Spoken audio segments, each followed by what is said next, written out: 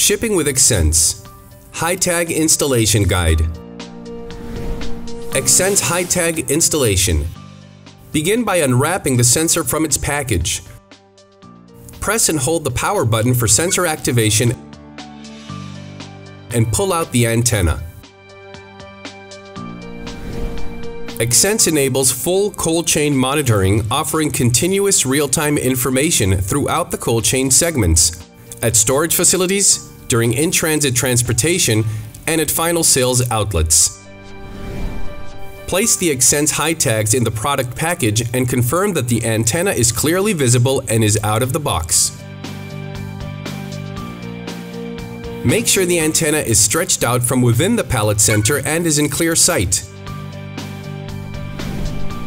For Xsense HiTag registration, remove the serial number barcode from the sensor ID label and register the pallet and the Xsense high tag on the Xsense website.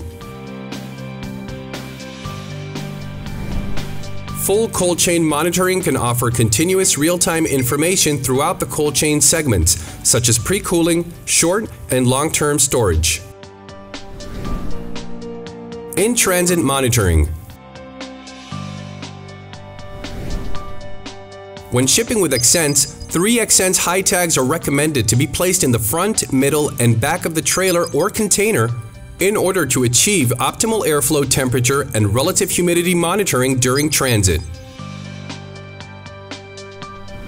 Shipment Association To complete the process for both full cold chain monitoring and in-transit monitoring, the Xsense high tags must be registered on the Xsense website.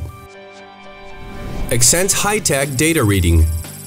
As a shipment arrives at the final destination, both options can be viewed, offering partial or multiple cold chain information segments based on user permissions.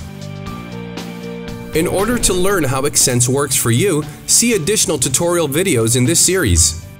For more information, contact us at support at bt9-tech.com.